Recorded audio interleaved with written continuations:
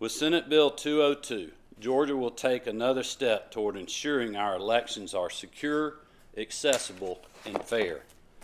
In contrary to the hyper-partisan rhetoric you may have heard inside and outside this gold dome, the facts are that this new law will expand voting access in the Peach State.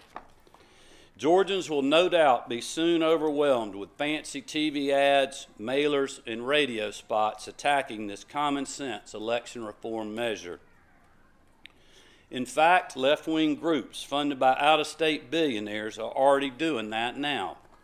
They're using outrageous, false rhetoric to scare you and put millions of dollars in their own pocket.